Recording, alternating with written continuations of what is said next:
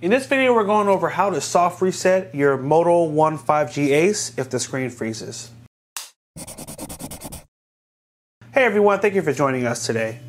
If you want to stay up to date on all the mobile technology coming out and learn cool tips, tricks, and hidden features, make sure you hit that subscribe button down below and tap the bell to turn on post notifications so you can be alerted every time we post new videos. Today we're going to walk you through how to soft reset your Motorola One 5G Ace if the screen freezes. Now obviously this is an all touchscreen phone and there's only a couple of physical buttons on the side, but if your screen freezes, you can't go to the settings and actually hit the reset option. Even if you were to hold the power button, you still need to tap reset in order to reset the screen. So if the screen is not responding, what do you do? We're gonna show you right now. What you're gonna do is hold the power and the volume down button. You're gonna hold that for about 10 seconds and let's do it right now so you can see what the process looks like. So hold them both at the same time. One, two, three, hold. And you will see it trigger a screenshot. Continue to hold the buttons until the screen goes dark. That's how you'll know that the reset was successful like that.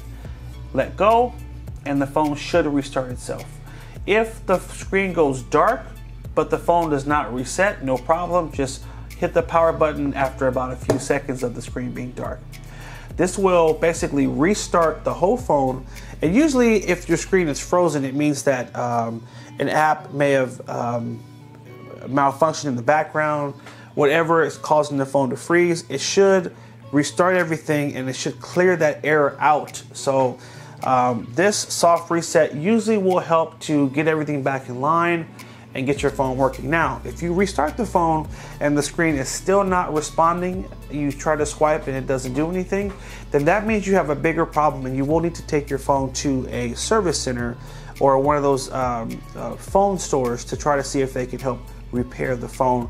You could also have a, a problem with the touchscreen. So, um, but hopefully this worked do me a favor, hit the like button if it did work. Also, consider hitting that donate button if the video was helpful and leave us a couple of bucks. We always appreciate those type of uh, tips as well. Um, thanks for watching, guys. Take care, and as always, have a good one.